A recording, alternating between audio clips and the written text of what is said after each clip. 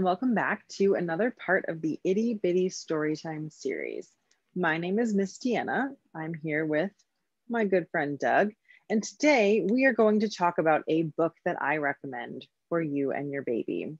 And that book is Making Faces, a book of emotions.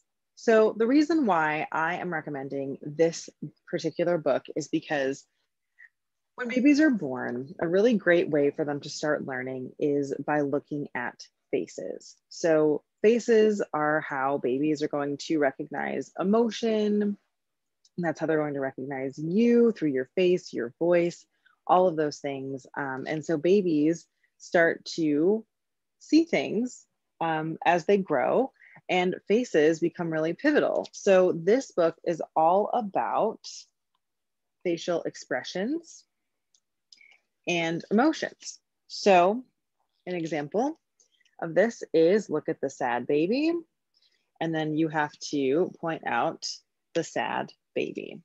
So there's happy, sad, mad, um, all of those things in this book.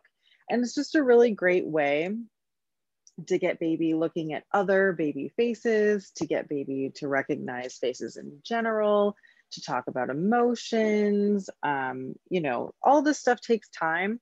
So it's not going to happen overnight, obviously, but this is just a really great book to keep around um, as baby ages and as baby gets older and starts recognizing more and hearing more and learning and absorbing. But this is just a really great one to have on shelf.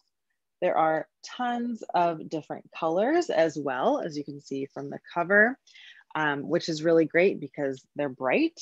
Um, you can start talking about colors, pointing out faces, all of that good stuff can be found in this book. Another part of this book that I really, really love is at the end, there is a mirror.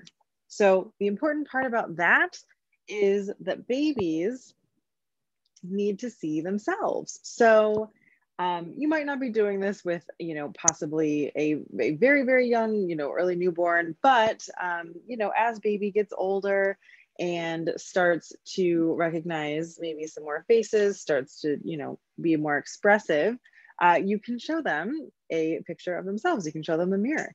So that's really important because that's bringing about self awareness for babies. So when they see themselves, they're they're making a connection, um, which is really, really fun to see. And so this book has a built in mirror. So if you're finding that uh, baby is, you know, absorbing more, making these connections, and then at the end seeing themselves, that's a really fun time for reading. So uh, hopefully you all try this book out.